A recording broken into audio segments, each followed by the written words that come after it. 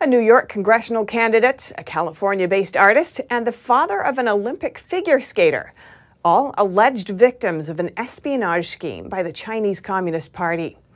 The Department of Justice has announced charges against five men. NTD's Chenny Wu has the story. The U.S. Justice Department announced charges on Wednesday against five men accused of stalking and harassing Chinese dissidents in the United States on behalf of the Chinese Communist Party. The defendants were allegedly acting as agents of the Chinese secret police, engaged in transnational repression schemes with China's Ministry of State Security, or MSS.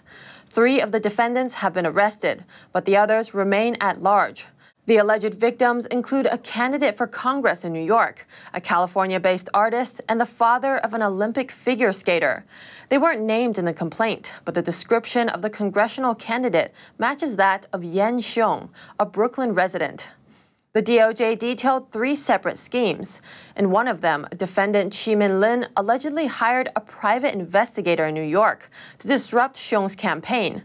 Xiong had been a student leader of the pro-democracy demonstrations in Tiananmen Square in 1989. He later escaped to the United States, served in the military, and became a U.S. citizen. When hiring the private investigator, Lin explained that he and those whom he was working for did not want Xiong to be elected to Congress. Lin emphasized that whatever price is fine, as long as you can do it. Lin allegedly first asked the investigator to provide Xiong's phone number and address. He then asked the investigator to unearth derogatory information about Xiong, or if no such information could be found, to manufacture some, including by creating a scandal involving a prostitute. Later, Lin also asked the investigator to consider physically attacking him. In a voice message to the investigator, Lin stated, You can start thinking now. Aside from violence, what other plans are there? But in the end, violence would be fine too. Beat him. Beat him until he can no longer run for election. You think about it car accident, he will be completely wrecked, right? As these cases show, the MSS has been targeting pro-democracy activists living in the United States with harassment and smear campaigns, spying on them to help the PRC government target them for arrest. The Chinese Foreign Ministry on Thursday denied having carried out schemes targeting Chinese dissidents overseas, calling the allegations slander. The cases underscore what American officials describe as increasingly aggressive efforts by the Chinese regime to seek out, silence, and threaten pro democracy activists abroad. And in what could be a historic development, Saudi Arabia is reportedly in talks to sell oil to China in a transaction that would be made in Chinese currency, the yuan.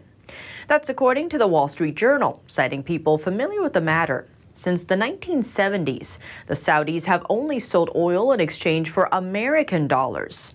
The deal allowed the U.S. dollar to remain the world's reserve currency. Today, 80% of the world's oil is traded for U.S. dollars. But dollar inflation is a problem for Saudi Arabia. Just like it now costs shoppers more dollars to buy products at the store, Saudi Arabia's U.S. debt holdings are now worthless and still falling. It's also not an ideal circumstance for China because Beijing can't print dollars to buy oil like the U.S. can. China now buys 25% of Saudi Arabia's oil, and that number is rising. In comparison, the U.S. is only buying a fraction of the amount it did in the 1990s. Chinese regime's ambassador to the U.S. said China will maintain normal trade relations with Russia. That says Russia remains under heavy sanctions from the West. The sanctions aim to press Russia's Vladimir Putin to stop his invasion of Ukraine.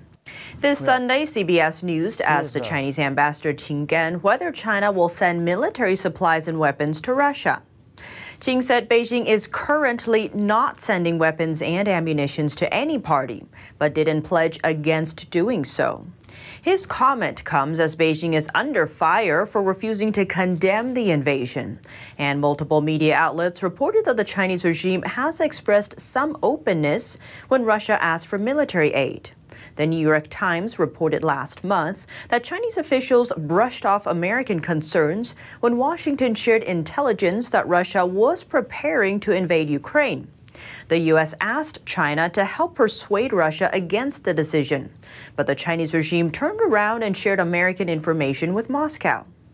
Well, in the CBS interview, Qin also claimed that Xi Jinping called Putin and asked him to think about China. resuming peace talks with Ukraine.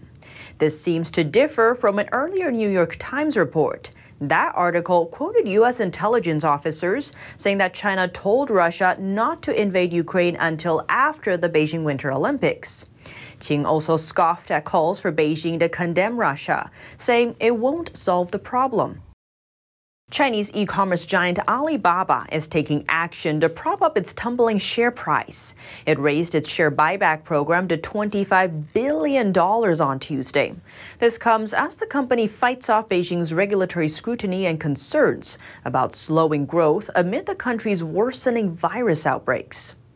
The e-commerce titan said Tuesday that it would increase a planned share buyback to $25 billion. That's a record for the company. It's also the second time it's increased the buyback plan. Last year it was boosted from $10 billion to 15 billion. Alibaba is acting after its share price cratered more than 50% over the past year. It's been under pressure since late 2020 when billionaire founder Jack Ma publicly criticized Chinese regulators. Watchdogs later slapped it with a record $2.8 billion fine for anti competitive behavior and halted a blockbuster IPO for its financial arm. Investors also worry about mounting competition and slowing growth. Now the firm says the decline doesn't fairly reflect its value and outlook. It's also hoping to sell into a rising market. Chinese tech stocks have been buoyed in recent days after China said it would take steps to support the economy, Alibaba's Hong Kong traded shares jumped over 11% following news of the buyback plan. A company may choose to buy its shares back for several reasons. One, to boost confidence in the company's overall health and outlook. And two, the move raises earnings per share. But how does Alibaba's move tie into the U.S. market? The company has been listed on the New York Stock Exchange since 2014 under ticker name BABA. Because of that history, American investors are involved too. Right now, Chinese regulators are reaching out to Alibaba and a number of other Chinese companies listed in the U.S., telling them to prepare for more audit disclosures. So far, Chinese authorities have refused to open those companies' books to U.S. regulators, citing national security concerns. The move comes as Beijing works to keep its domestic companies listed in New York. A U.S. Navy officer sentenced to four years in prison. Yang Fen is an ethnically Chinese lieutenant in the U.S. Navy.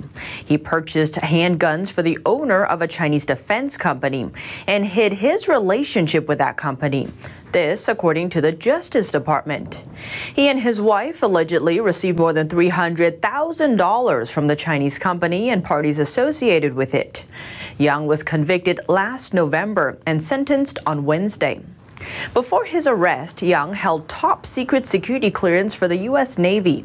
A DOJ statement explains Fan Yang held a position of trust with the U.S. government, working on anti submarine warfare. The court held him accountable for violating that trust by lying to the government about significant foreign relationships.